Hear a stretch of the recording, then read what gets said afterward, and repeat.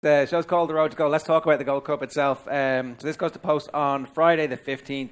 And at this stage in the betting, presenting Percy is very short, right, for a Gold Cup at this stage, Oli? Is it like so 11 to 4 is the price we're looking at at the moment? Uh, an amazing horse. We did a show with uh, Davy Russell recently, and looking back at the performances that presenting Percy has put in at Cheltenham, it's like zooming up the hill every time. But Yeah. Gold Cup's different, right? Yeah, look, he's got an unbelievable Cheltenham record. The thing with presenting Percy, he's trained by Pat Kelly, who's a, a bit of an enigma, a bit of a, you know, silent assassin in many ways because he's impossible to interview. he should be a really popular horse, but I think punters and racing fans are a little bit frustrated with him because he was meant to run in the Red Mills. He might run this week. He ran over hurdles last time. No one really knows where they stand with presenting Percy on a week to week basis. In terms of talent, he's more than capable of winning a Gold Cup, but I don't think quite yet he has that public following that, say, a Native River has, who's just a real war horse. He ran really well in the King George. I think there will be a lot of people that back presenting Percy because on form and ability, he's more than capable of winning a Gold Cup. But I think the neutral, if you like, would probably be cheering on a different horse. I know we're in Ireland, and I don't want to be sort of say anything sort of Go uh, on. there's controversial. No, but, but my point is, I don't I don't think there are many people, particularly in the UK, I think that's uh, that's that the would thing. be cheering presenting Percy on over, say, a Native River, just because no one really knows where they stand with presenting. We had we had Sorry. uh, I love presenting Percy and Ireland, by the way. Just to be clear. He's a real crowd pleaser. Um, we had uh, Davy Russell on the night of the Thyestes, and uh, a few reporters who were in Gowran Park that day said that the scenes were reminiscent of Danoli, and that certainly presenting Percy Yeah. has ca- captured the Irish attention, but we see him so rarely that it, that probably hasn't yet transcended the it's, national it's boundaries. frustrating for racing fans wherever you are in the world want to see the best horses run and want to know where they stand with the best horses. And the simple fact is that presenting Percy is meant to run last week. He's meant to run this week. He hasn't run last week. He might not run this week. We don't really know what's going to happen with presenting Percy. That there is an element of sort of charm to that. There's like a bit of excitement. Is It's he? the enigma, will he? yeah. Won't he? But it can be a bit frustrating. In terms of ability, presenting Percy could very well be lifting the uh, the Gold Cup in, in March. I, I, he's, he's every reason to be favourite on ability. Bryan, what do you think? It's wide open. I look. I disagree. with People giving out about Pat Kelly. Like Pat Kelly is about five horses in training. It's different with Gordon and Willie. They've fifty runners each in Cheltenham. Like he's Pat Kelly's only horse going to Cheltenham. So he believes in himself that he can get him there in as good a condition as anybody else.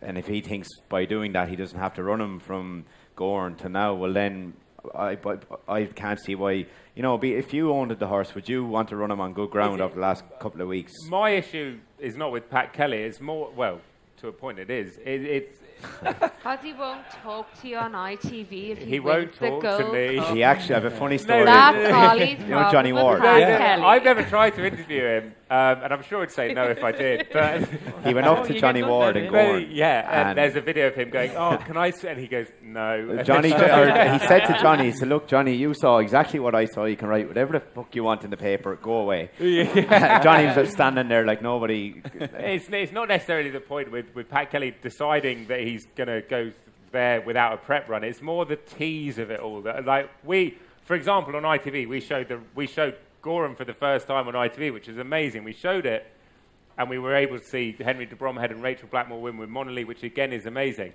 But imagine that to the racing fans Yeah. that think presenting Percy is going to run. It's, it's kind of good to see these stars to attract racing to a Yeah. wider audience. And it's just a bit frustrating from Maybe a, after race, they're paying him a few quid. Not to run it because it's not changed hang fire Fairyhouse next week.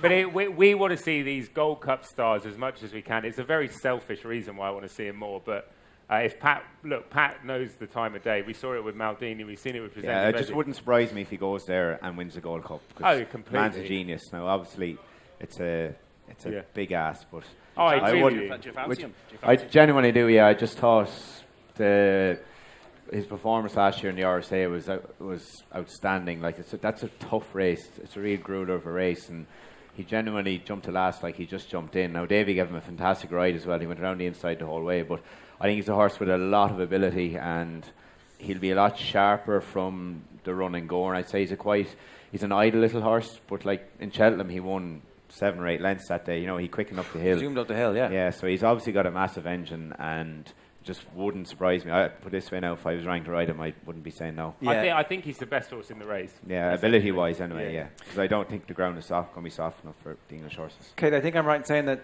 when we did this show in Clonmel, Sizing John was still He All was, was and good. sadly, and sadly, not, he's not in the picture anymore, which is a big blow to us. But um, look, I think the Gold Cup this year is wide open. I think it's a bit of a mystery because it's been a very unusual year in the sense that we've had very unusual weather sense. I think everyone today will see it felt like spring, and it's only February.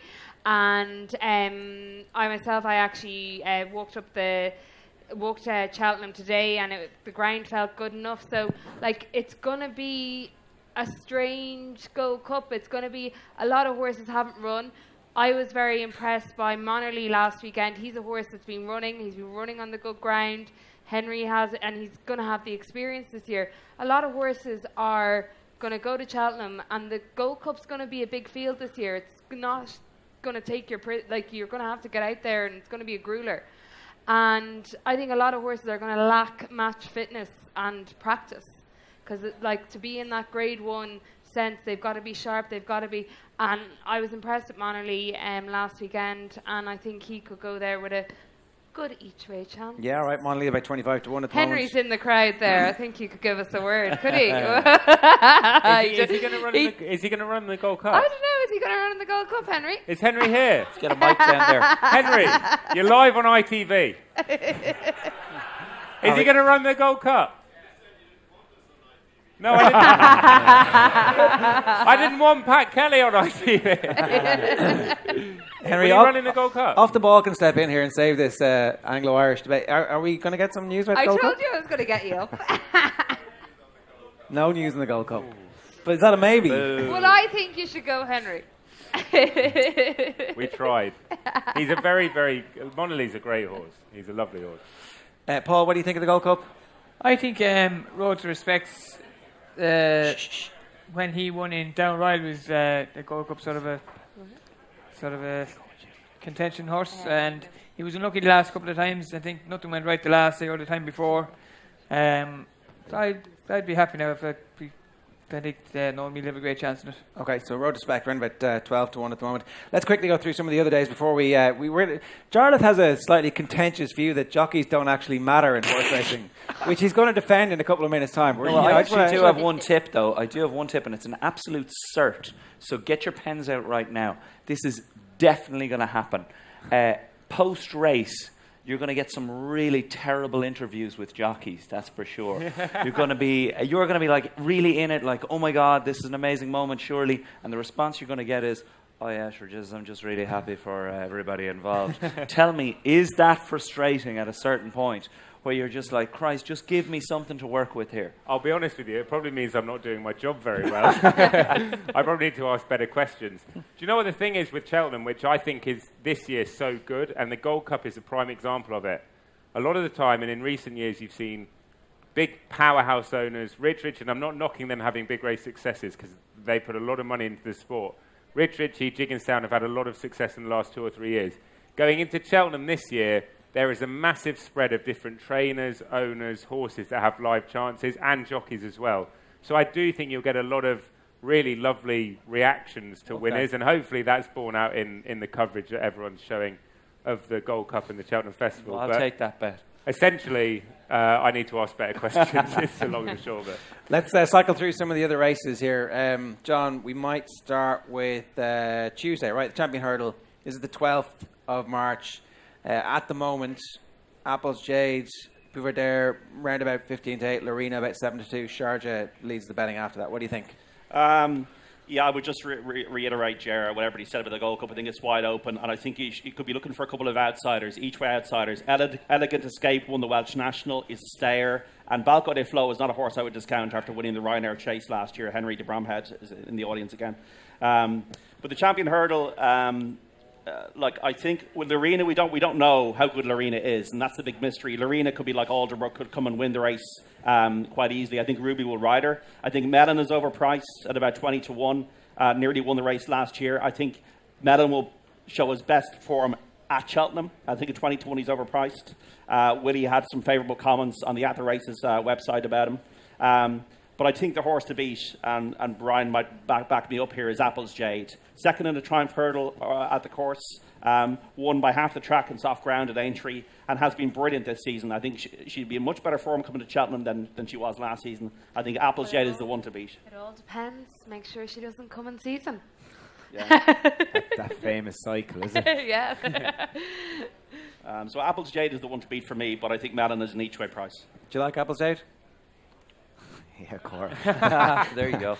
I'm not so sure there could be anyone in this audience now. So, I know. Look, she's uh, she's a fantastic mare. Um, I was very lucky to ride her. I think I won five or six grade ones on her. She's a fantastic mare. Has got better and better with age. I think the more racing she's got, the better she, she has got. Um, you know, last year you would have questioned ha- had she trained on, but to do what she's done this year has been phenomenal. Um, I just, I, I, when I heard she was going back to two miles, I was a little bit worried because the older horses get sometimes the more they appreciate a step up and trip. But she, she looked as good as she ever did in Leopardstown the last day, and Gordon has done a fantastic job of getting her back.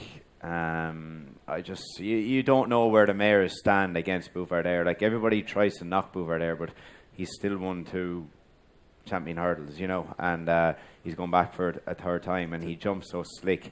Apple's Jade has a tendency to jump a little out to her right when she goes to Cheltenham, which won't kind of help around there. But look, we're in for a fantastic race, and I won't be riding it, but it'll be a race I'll be watching closely because I think it'll be the race of the week. All right, let's move on to the champion chase and Altior. Um, can Altior be beaten, Oli? Uh, no, Falls. no. You can be beaten. I No. know how to get, get him beat. You do. Go on. Oh, I'm the last person to get beat on him. Claim to fame, yes. Is you? What happened? Altior? yeah. When? Punchestown. That was Punchestown, champion bumper. That was Jason. Bellshill did win, though. So you, did, you- did you lose or did Bellshill win? Is that the. I, I lost. I lost. Okay. Bellshill won. Uh, there was a lot of very good horses in front of me. and do you get killed after a race like that where you're like, oh, Jesus? No, he was or, an outsider. Barry Gary, she also got beat, beat on him as well the time before. So, Okay. But I technically am the last person. to And the bumper too. That, Barry, yeah, the bumper in England. So, yeah, technically. So he is beatable. just, just on the champion hurdle, though, there's a lad up there called Biscuits. All right, Biscuits. Uh, we've had a match bet. He's there's a plenty of Apples Jade Jade's fans here, and I Apple's Jade's run three times at Cheltenham. She's been beaten twice, and last year she got beaten by Benie Des Dieux and a horse called Midnight Tour that was 66 to one.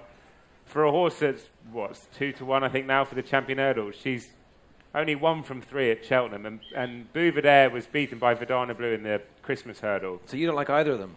I think Laurina's a nap in the. Thank you. We've won them over. Uh, They're awake. uh, we got there in the end, lads. Uh, I think Laurina's a nap in the champion hurdle. I was impressed with her the other day. And there's flaw. I know that Bryan's point is right. A two-time champion hurdler who hasn't got the credit he deserves.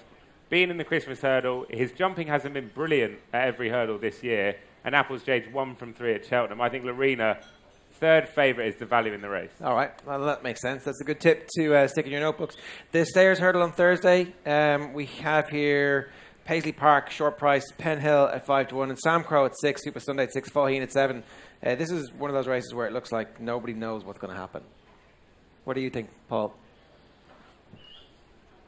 No clue. no. right, okay. It'd be nice though to see Samcro come back and do something. Um, I know Simon Godwin said he's back in after a break and he's going well. So, um, but, uh, Paisley Park's probably the story of the season so far with his Yeah. owner Andrew Gemmell's blind from birth and we're all fortunate enough to go to Cheltenham and be able to watch the racing and enjoy it. You will not find a human being on the planet at a race course that displays as much emotion about a horse race as the man that uh, unfortunately can't see the racing. And, and his love, that he, he got a statue of the horse made after it won at Ascot two starts ago. He's now the short price favourite for the Stayers Hurdle. And that's what I was saying earlier. These stories are, are brilliant. And if he wins, it would, it would raise the roof. Yeah, that's fair enough. John, what do you like? Paisley Park's a banker. Yeah, Thank you for that input. um, I thought he said awake. I thought you said something else. by the. Sorry, sorry. I, I think it's another open race. Uh, Paisley Park was beaten out the gate. Now, he, wa- like he, he, an illness, but he was beaten a long way by, behind Kilbricken Storm last year at the festival. So um, I think it's a wait and see. It's not a race. Uh, uh, you, got, you, you kind of have um, superstitions, and this is a race I, I've never. I don't think I've ever had, had the winner of. So um, you, you, have, you, have, you have some strange. Uh, Got to break your duck sometime, John. yeah, yeah. Well, hopefully this year. But um, I'd be interested to see who do, who do you fancy, Paul, in the champion hurdle? I see Nicky's posted he, he thinks Buveur d'Air are the, the horse to be a lot better now for the champion hurdle as well. So Nicky's a fair man now. and when he says he has one right, he'd have one right. Um, I'm the same sort of with the mare, not winning there twice. Um, I know she's very good in Leopardstown. Leopardstown is a totally different track than Cheltenham, so um, I'd probably go with Nicky's horse. Right. Do you are you uh, sifting through all the details of these races at the moment in case you end up in one of them? Yeah, Is that how it works? I'm ringing like every train every day of the week to get more rides.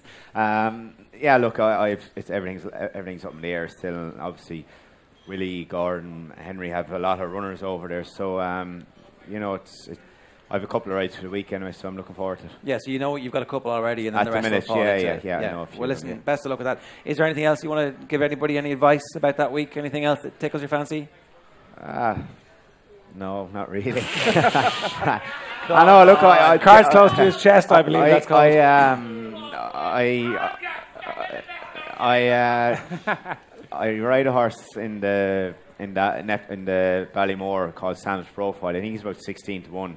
He finished second in Ace in a Grade One behind uh, Battleoverdoyen there a couple of weeks ago, and made a bad mistake at the Fort last and. I think he would have been a lot closer early for that. Now, look, he's a massive price, and he'd be he'd be good each way bet. I sat on him yesterday after racing, and you know, there's there is no better man than Mouse Morris to get a horse ready, one horse for the Cheltenham Festival. So I couldn't tell you not have a few quid each way in him. Okay, well, that's uh, good information, hot off the press.